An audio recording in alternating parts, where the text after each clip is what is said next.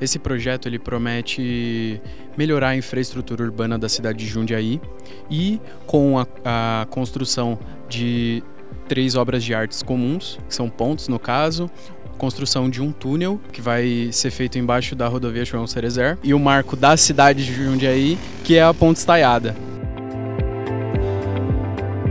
Soluções adotadas da UMA em relação ao escoramento foi feito com o projeto MK, que tem, por sua vez, ele é um projeto em que eu consigo adquirir uma resistência muito grande é, utilizando poucas peças.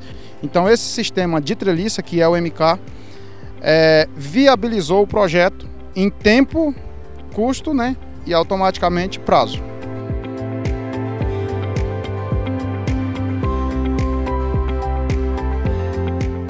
Em relação ao Bril, que é outro projeto da UMA, foi adotado para fazer as escadas de acesso dos colaboradores às etapas de construção. Então, foi construído aos poucos, então em cada etapa de concretagem de 3 metros, é, houve um avanço das escadas, um avanço dos materiais trepantes e um avanço do escoramento.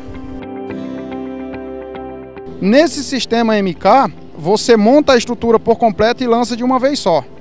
Então existe essa diferença sem abrir mão da qualidade do serviço, da segurança né, e a praticidade que se é trabalhar com esse sistema MK. Um dos nossos gargalos era o cronograma, atender as datas é, especificadas no cronograma. Então, com esse projeto, é, viabilizou a gente conseguir atender essas datas porque facilitou bastante a montagem.